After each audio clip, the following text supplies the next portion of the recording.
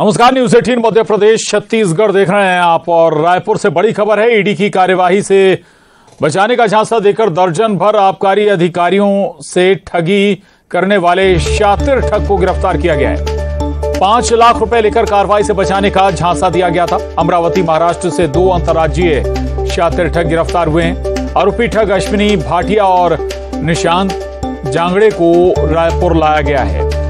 ED director से direct मिलवाने का झांसा देकर 50-50 लाख रुपए में सौदा कर 5-5 लाख रुपए एडवांस इन्होंने वसूल लिए थे। पुलिस आज चार बजे पूरे मामले का खुलासा करेगी। राखी थाना इलाके का ये मामला है। ये बड़ी खबर।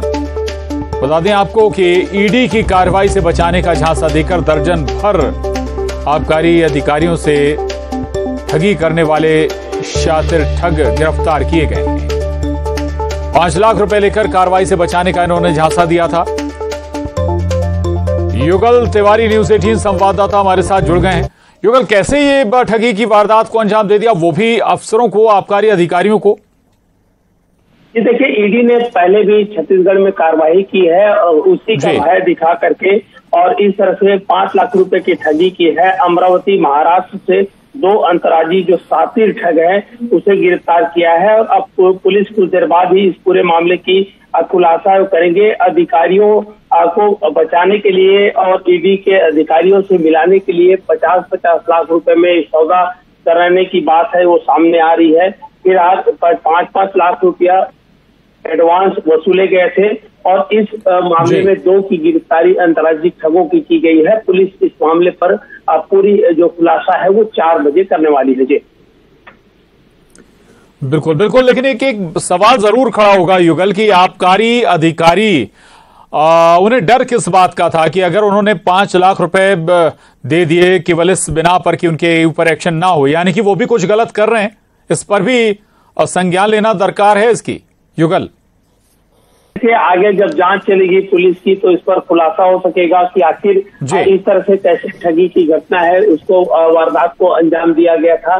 लेकिन सब तो अभी भी है कि आखिर कैसे झांसे में अधिकारी है पढ़े लिखे लोग हैं और जवाबदार अधिकारी है वो कैसे आ गए? पुलिस फ़िलहाल पूरे मामले की जाँच कर रही है और समय पर ईडी की जो कार्रवाई है होती रही है तो हो, हो सकता है कि इसका भय दिखा करके इस तरह के जो रकम की वसूली की गई है। ठगी की गई है अब पुलिस पूरे मामले पर खुलासा करेगी। जी।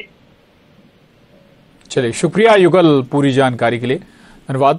आगे बढ़ेंगे और देवास से बड़ी खबर है। बारह हज़ार की रिश्वत लेके लेते पटवारी गिरफ़्तार किया गया है। ईओडब्ल्यू ने रंगे हाथ, पटवारी को धर दबोचा। मिर्जापुर में पदस्थ था पटवारी बाबूलाल पांचाल। ज़मीन बंटवारे को लेकर रिश्वत मांगी थी पटवारी ने। तो ये बड़ी खबर देवास से है, जहाँ बारह हज़ार की रिश्वत लेते पटवारी को गिरफ़्तार किया गया है। ईओडब्ल्यू ने रंगे हाथ पटवारी को पकड़ा है। मिर्जापुर में पटवारी बाबूलाल पांचाल पदस्थ था। बताया जा रहा है कि ज़मीन बंटवारे के एवज में पटवारी बाबूलाल पांचाल ने रिश्वत मांगी थी और बारह हज़ार रुपए रिश्वत ले भी रहा था। उसी दौरान ईओडब्ल्यू ने इसे रंगे हाथों पकड़ लिया। धर दबोचा। ये बड़ी कार्रवाई पटवारी के खिलाफ हुई है। बारह हज़ार रुपए रिश्वत लेते हुए पटवारी को पकड़ा गया है बाबूलाल पांचाल। मिर्जापुर में पदस्थ है पटवारी और ज़मीन बंटवारे की एवज में पटवारी बाबूलाल पांचाल ने पीड़ितों से बारह हज़ार रुपए रिश्वत ली। थी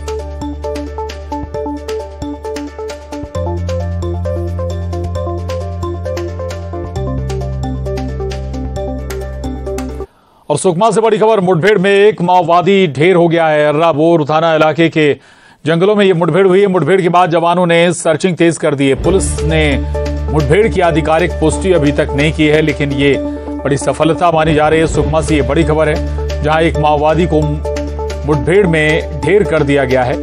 सुकमा के अर्राबोर थाना इलाके के जंगलों में ये मुठभेड़ हुई है, नक्सलियों से। और इस मुठभेड़ में एक माओवादी मार गिराया गया है, ढेर कर दिया गया है। हालाँकि मुठभेड़ के बाद जवानों ने सर्चिंग तेज कर दी है। सर्चिंग पर है अभी जवान। पुलिस ने मुठभेड़ की आधिकारिक पुष्टि अभी तक नहीं की लेकिन जो सोर्सेस के हवाले से खबर है, एक माओवादी को मार गिराया गया, ढेर कर दिया गया है मुठभेड़ में। और इसके बाद जवान अभी भी सर्चिंग पर लगे हुए सत्यनारायण चांडक हमारे साथ जुड़ गए हैं। सत्यनारायण, ये बड़ी सफलता, हम कहें, एक माओवादी को ढेर कर दिया गया। क्या और अपडेट है, जानकारी है इससे जुड़ी हुई? अब आपको लगातार जो है एरापुर थाना क्षेत्र में माओवादियों के होने की सूचना मिल रही थी। जिसके बाद आज सुबह डीआरजी टीम को उस और ऑपरेशन के लिए रवाना किया गया था और एरापुर थाना क्षेत्र के कुछ ही दूरी पर जो है माओवादियों और जवानों के बीच मुठभेड़ हुई जिसमें एक नक्सलियों को मार गिरा है जिसका नाम सोड़ी दुल्ला बताया जा रहा है जो जनता सरकार का अध्यक्ष था और काफ़ी इस इलाके में दहशत थी उसकी इसको जो है मार गिराने में जवानों को सफलता मिली है। हालाँकि अभी मौके पर जवान मौजूद है आसपास इलाके की और सर्चिंग की जा रही है। जैसे ही जवान वापस एराबोर थाना पहुँचेंगे तो उसके बाद जो है पूरी स्थिति स्पष्ट हो पाएगी। जी। चलिए, शुक्रिया सत्यनारायण आपका इस पूरी जानकारी के लिए। आगे बढ़ेंगे, रायपुर से बड़ी खबर है। पुलिस ने एडवाइजरी जारी की है। रायपुर से बड़ी खबर है, बैटिंग सट्टा, जुआ के विज्ञापन बैन किए जाएँगे। विज्ञापन एजेंसियों के लिए ये एडवाइजरी जारी हुई है। रायपुर एसएसपी प्रशांत अग्रवाल ने एडवाइजरी जारी की है और प्रचार प्रसार पर पचास हज़ार का जुर्माना भी हो सकता है और तीन वर्ष की सजा का भी प्रावधान है। जो भी एडवर्टाइजिंग एजेंसीज सट्टा बैटिंग या जुआ के विज्ञापन करते हैं। उन पर यह बड़ा एक्शन हो सकता है। पचास हज़ार रुपए तक का जुर्माना और तीन साल की सजा का भी प्रावधान किया गया है। एडवाइजरी एसएसपी प्रशांत अग्रवाल के ज़रिए जारी की गई है।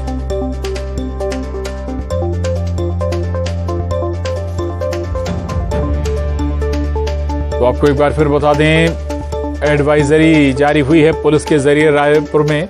बैटिंग सट्टा बैटिंग सट्टा और जुआ के विज्ञापनों पर पूरी तरह से बैन लगा हुआ है।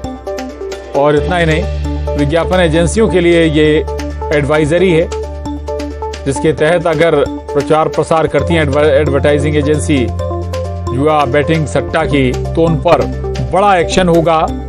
पचास हज़ार रुपये जुर्माना भी उन पर लगाया जा सकता है और जो जिम्मेदार होंगे, जो आरोपी होंगे, उनके खिलाफ उन्हें तीन साल तक की सजा भी हो सकती है। आगे बढ़िए, रायगढ़ से बड़ी खबर है। आदि पुरुष पर धीरेन्द्र शास्त्री का कटाक्ष। पंडित धीरेन्द्र शास्त्री ने मेकर्स से सवाल पूछे भगवान हनुमान क्या क्या नहीं है, जरा बताएँ। हनुमान जी भगवान हैं, वानरों के राजा हैं। हनुमान जी महाराज चारों लोक के राजा हैं। हनुमान जी ऐसी भाषा का प्रयोग भी नहीं करते थे। ऐसी फ़िल्म बनाने वालों को भगवान सद्बुद्धि दें।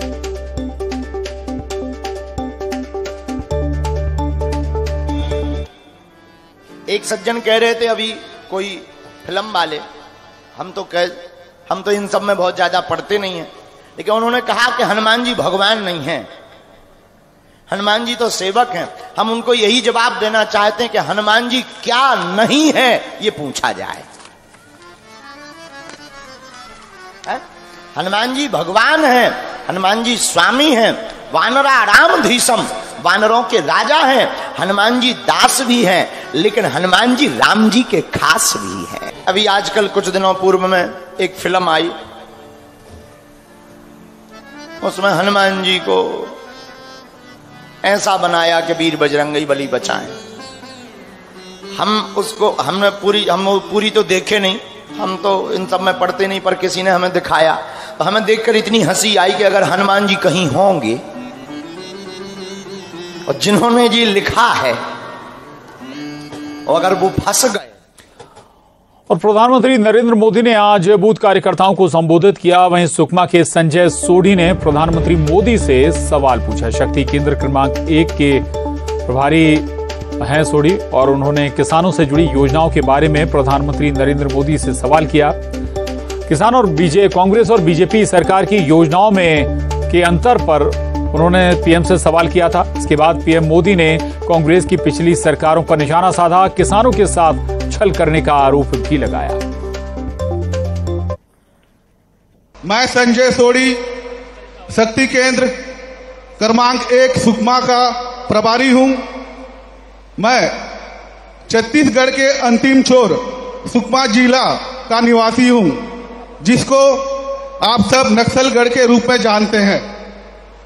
मैं दक्षिण बस्तर के उन आदिवासी भाइयों के विषय में, वहाँ के अन्य समाज के विषय, समाज के जो किसान हैं, उनके विषय में कहना चाहता हूँ। उनके पास उपजाऊ ज़मीन होने के बावजूद आज वो पिछड़े हैं। तो मेरा सवाल है आज पूरे भारत देश के किसानों की तरफ़ से, सामान्य प्रधानमंत्री जी, किसानों के हित में एक अप्रोच कांग्रेस की सरकार में रही और एक अप्रोच भारतीय जनता पार्टी की सरकार में हम देख रहे हैं। इस अंतर को हम सामान्य जनों को, आम जनों को कैसे बता सकते हैं और उन्हें कैसे समझा सकते हैं? कांग्रेस की एक ही नीति थी, पहले किसानों को संकट में पड़ने दो और फिर कर्ज माफ़ी के नाम पर झूठ बोलकर वोट की फ़सल काटो। ये उनका तरीका रहता था। आपने 10 साल में कांग्रेस ने कुछ हज़ार करोड़ रुपए की कर्ज माफ़ी का ऐलान किया। लेकिन असली किसानों ने को ये लाभ कभी पहुँचा ही नहीं। आप जाकर के देख लेना। इतनी सारी कभी कभी तो दो, दस दिन में करेंगे, सौ दिन में करेंगे। कभी नहीं किया। क्योंकि ज़्यादातर जो छोटे किसान होते हैं, उनका तो बैंक में खाता भी नहीं होता है। और वो तो साहूकार के पास से और लोगों से पैसे लेकर के अपनी बेचारे की गाड़ी चलाते हैं।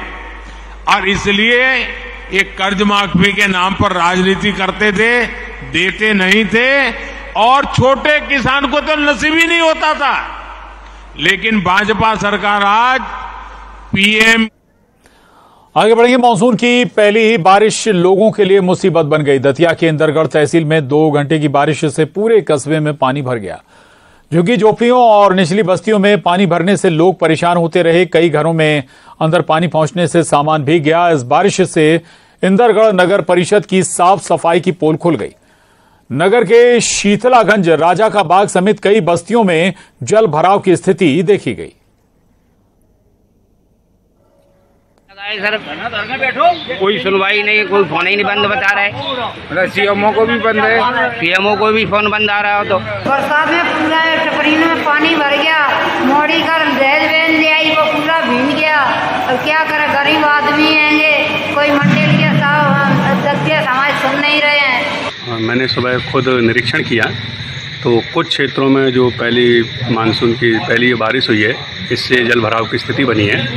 नगर पालिका को निर्देशित कर दिया है और नगर पालिका और प्रशासन मिलके उस जल भराव की समस्या का निराकरण कर रहे हैं। फ़िलहाल अभी जेसीबी वगैरह पहुँच गई है और पानी की निकासी कार्य तो छत्तीसगढ़ में मानसून की पहली बारिश परेशानी का सबब बन गई है। प्रदेश में शहर पानी पानी हो गए हैं। राजनांदगांव जिला अस्पताल में बारिश का पानी घुस गया, वहीं बलौदा बाज़ार में कई स्कूल परिसर भी जलमग्न हो गए। धमतरी शहर में जल जमाव से लोगों की मुश्किलें बढ़ी हुई हैं। तो अलग अलग जगह क्या असर दिखा रहा है बारिश का पानी? ये तस्वीरों के ज़रिए आप देख सकते हैं। पहली तस्वीर राजनाथ गाँव से है, दूसरी तस्वीर बलौदा बाज़ार से। कई जगह जो स्कूल हैं, वो भी प्रभावित हुए हैं। स्कूल परिसर पूरी तरह से जलमग्न हो गए हैं। बच्चों को पढ़ाई करने में खासी परेशानी का सामना करना पड़ रहा है तो कई जगह जो अस्पताल हैं, वो भी उनके अंदर तक पानी जा पहुँचा है। और राजनाथ गाँव से बड़ी खबर है, लगातार बारिश, मुसीबत बनी हुई है। जिला अस्पताल पूरी तरह से जलमग्न हो गया। अस्पताल के वार्डों में पानी घुस गया। पुरुष और महिला वार्ड को ऊपर शिफ्ट किया गया है। हर साल बारिश में अस्पताल में पानी घुस जाता है। तो ये बड़ी खबर राजनांदगांव से यहाँ पर आ, बारिश का असर तो है ही लेकिन स्वास्थ्य व्यवस्थाओं पर भी सवाल है। क्योंकि हर साल यहाँ पर ऐसी स्थिति बनती है। राजनांदगांव से ये तस्वीरें हैं जिला अस्पताल। पूरी तरह से एक बार फिर जलमग्न नज़र आया पहली बारिश में। हो रही बारिश के चलते जिला अस्पताल जलमग्न हो गया है। मेरे पीछे देख सकते हैं कि कर्मचारी पानी निकालने के लिए जद्दोजहद कर रहे हैं। सुबह से यह जद्दोजहद जारी है। पूरे अस्पताल में पानी भर चुका है। साथ ही मेडिकल जो वार्ड हैं जो मरीज़ के वार्ड हैं वहाँ भी पानी भर चुका है और सुबह से ये जो हैं कर्मचारी वो पानी को निकालने में लगे हैं। भैया बताएँगे कब से लगे हैं आप लोग पानी निकालने में? आज सुबह आठ बजे से। हाँ अब कितना पानी निकाल चुके हैं? कंटिन्यू कितना काम कर रहे हैं हम दो घंटा हो गए कंटिन्यू निकाल रहे पानी। ये थे जिला अस्पताल के कर्मचारी जिन्होंने बताया कि दो घंटे से लगभग हो गया है इनको पानी निकालते और अभी भी पानी निकालने की कवायद जारी है। साथ ही नीचे जो वार्ड हैं, उन मरीजों को ऊपर भी शिफ्ट किया जा चुका है। Rakesh Yadav, news eighteen, Rajnandgaon. और बलौदा बाज़ार से बड़ी खबर है, पहली बरसात में तालाब बना सरकारी school. Lakhmai Satti primary school का नज़ारा दिखा पानी में उतरकर स्कूल जा रहे हैं बच्चे। स्कूल जाने के रास्ते में भी पानी भर गया है। पानी बहने के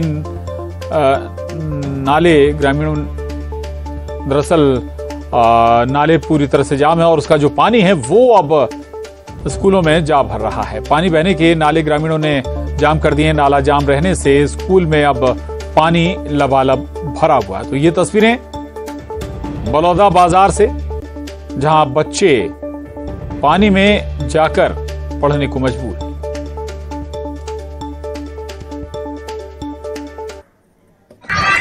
और उसके साथ लगातार जारी है।